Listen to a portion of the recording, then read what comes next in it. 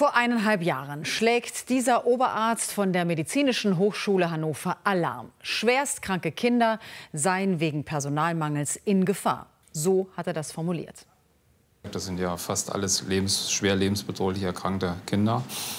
Ähm, mit den Folgen natürlich, dass die dann nicht nach unseren Möglichkeiten behandelt werden können und unter Umständen auch sterben. Es könnten Kinder sterben, weil das Personal fehlt. War das jetzt nur eine Momentaufnahme, ein Ausnahmefall? Klares Nein. Unsere aktuellen Recherchen zeigen, dass sich die Lage verschärft. In vielen norddeutschen Kliniken sind rund 30 Prozent der Intensivbetten gesperrt, werden also nicht belegt.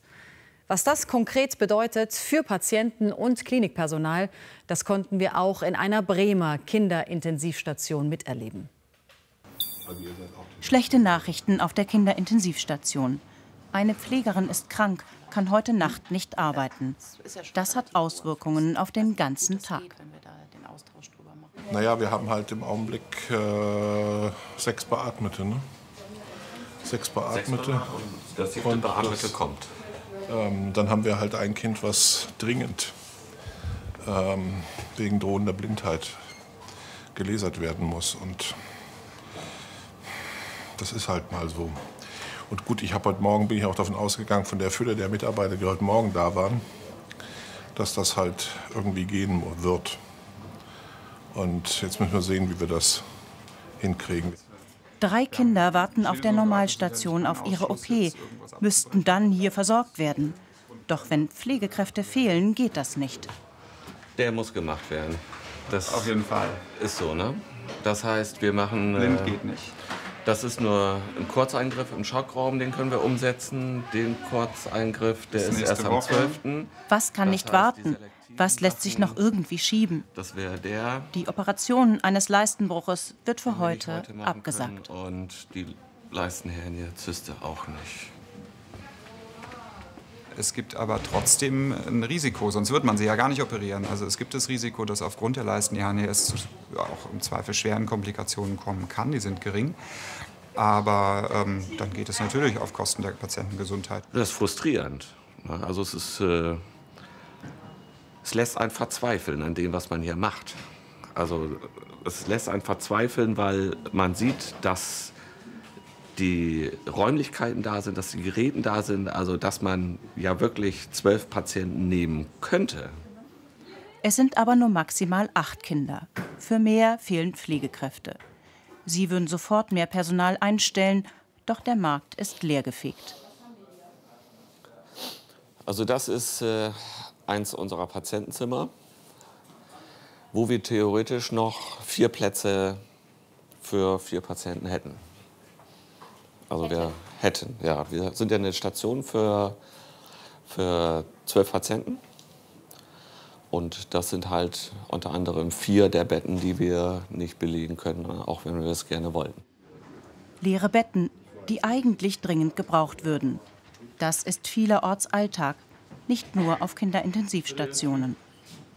Bereits Ende 2018 hat Panorama 3 recherchiert, dass viele Intensivstationen überlastet sind. Wir wollen wissen, was hat sich seitdem getan.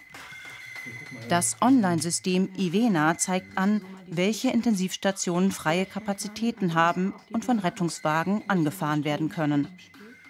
Wenn Intensivstationen in Bremen und Niedersachsen überlastet sind, melden Sie sich hierüber bei den Rettungsleitstellen ab. Das ist dann rot markiert. Wir greifen auf diese Daten zu, wie schon Ende 2018 im 10-Minuten-Takt auf Meldungen von 84 Kliniken. Vier Monate lang. Die Daten zeigen, mittlerweile hat sich das Problem erheblich verschärft.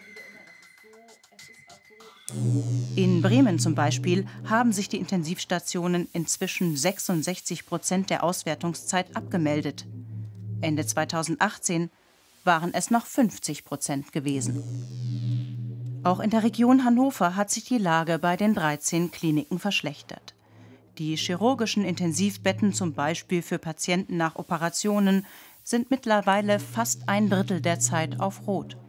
Ende 2018 waren es noch 25 Prozent gewesen. Bei den internistischen Intensivbetten zum Beispiel für Herzpatienten mehr als die Hälfte der Zeit. Auch das eine deutliche Steigerung.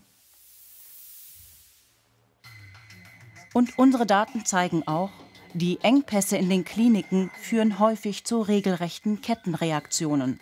Am Ende steht alles auf Rot. So kam es zum Beispiel in Bremen an mehr als jedem dritten Tag dazu, dass die Intensivstationen aller Kliniken gleichzeitig abgemeldet waren. An elf Tagen sogar mehr als acht Stunden lang. Auf der Bremer Kinderintensivstation würden sie gerne noch mehr Kindern helfen. Hier gibt es spezielle Therapien, die nur wenige Kliniken bieten. Wir haben aus Holland über Oldenburg dieses Kind bekommen, das ähm, eigentlich mit einer banalen Virusinfektion erkrankt ist und zunehmend äh, pulmonale Probleme bekommen hat. Da haben die uns angerufen und dann haben wir das Kind mit unserer Intensivtrage ähm, abgeholt. Weil das Baby zu wenig Luft bekam, ist es in Bremen an eine spezielle Herz-Lungen-Maschine angeschlossen worden. Das bindet viel Personal. Es ist bei uns dann so, dass wir da eine, natürlich eine 1 zu 1 Betreuung haben. Das heißt, da ist eine Schwester hier, die ähm, auch den Raum nicht verlassen darf, weil natürlich Sie sich vorstellen können, das ist zwar alles inzwischen sehr, sehr sicher, aber natürlich, wenn hier irgendwo plötzlich ein Leck ist oder ähm, da was reißt, dann ist das Kind relativ schnell verblutet. Schwerstkranke Kinder, zu wenig Personal. Und jederzeit kann ein Notfall hereinkommen oder Patienten von der Normalstation zum Notfall werden. Dafür müssten sie eigentlich Platz schaffen. Wir hatten zwischenzeitlich das Problem, dass wir Kinder einfach nicht ähm, abverlegen konnten ins Haus. Und wenn wir dann ähm, sagen, okay, dann müssen wir sie in irgendeine andere Klinik verlegen. Und da kommt ja dann auch eben nicht irgendwie kleine Kliniken, sondern Kliniken, die auch eine Intensivmöglichkeit haben. Dann müssen wir, wie gesagt, mit Oldenburg, mit Hannover, mit Hamburg telefonieren und hoffen, dass wir dort Plätze bekommen. Und da sieht es häufig ähnlich aus. Für die nächste Stunde läuft es wie geplant. Dann kommt er doch, der Notfall. Kinderintensivinterhalter? Jetzt ist das ein Notfall, dann können wir runter. Du denkst mal. Ja, wir kommen. Ja, tschüss. So, jetzt müsste ich mal eben weg. Notfall unten. Ole? Ich gehe mal auf die Elf schnell. So ein Krampfer. Es geht um das Baby, das später hierher kommen sollte. Das Kind, was heute die Augen gelasert bekommen sollte, hat wahrscheinlich auch eine frische Infektion. Das heißt, jetzt ab, ne? nee, Ich rufe die jetzt ab. leg sie da rein. Ja. Ja, okay. Wir nehmen die hoch, wir können die aber nicht lasern. Die muss Ihr erstmal. könnt jetzt hochkommen, ja? Ja, tschüss. Die Augen-OP muss noch warten. Es gibt jetzt Dringenderes. Können Sie gleich, da kommen, bringen die das Kind.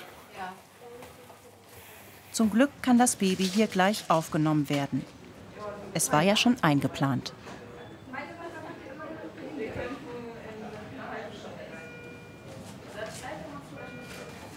Grunde Glückssache, ob ein Kind adäquat und gut versorgt wird oder nicht in solchen Vielleicht Zeiten. nicht ganz häufig, aber es gibt sicher einige Situationen im Jahr und einige Momente, wo es tatsächlich so ist, dass es Glückssache ist. Dass man einen, einen äh, adäquaten Versorgungsplatz findet. Was befürchten Sie für die nächsten Jahre? Ja, eine Selektion, ähm, eine Selektion äh, nach dem Prinzip, wer zuerst kommt, mal zuerst. Und wer halt in so einer Phase, wo ganz viele Kranke sind, ähm, kein Bett findet, hat Pech gehabt. Hier versuchen sie dagegen zu halten, solange sie eben können.